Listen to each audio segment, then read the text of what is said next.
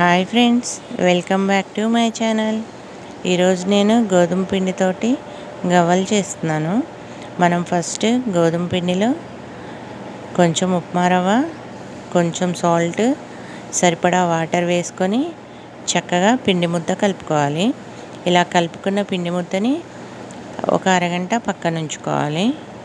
తర్వాత ఈ పిండి ముద్దని చిన్న చిన్న బాల్స్లా తయారు చేసుకొని వాటిని గవ్వల చెక్క పైన గవ్వల షేప్ చేసుకోవాలి. ఇలా చేసుకున్న గవ్వల్ని ఒక పక్కన పెట్టుకోవాలి.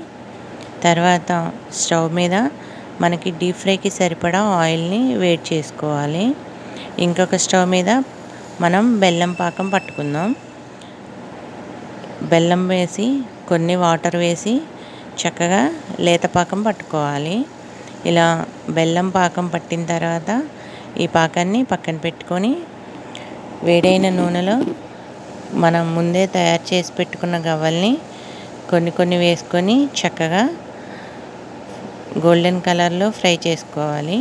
ఇలా ఫ్రై చేసుకున్న గవ్వల్ని పక్కకు తీసి మనం ముందే తయారు చేసుకున్న బెల్లం పాకంలో వేసి తీస్తే మనకి ఎంతో టేస్టీగా ఉండే బెల్లం గవ్వలు రెడీ అవుతాయి. ఈ గవ్వలు మనకి పది నుంచి పదిహేను రోజులు నిల్వ ఉంటాయి. వీటిని పిల్లలకి స్నాక్స్గా చాలా బాగుంటాయి. ఫ్రెండ్స్ నా వీడియోస్ కనుక మీకు నచ్చినట్లయితే లైక్ చేయండి షేర్ చేయండి కామెంట్ చేయండి నా ఛానల్ సబ్స్క్రైబ్ చేసుకోండి. Thank you for watching friends. Subscribe for more videos.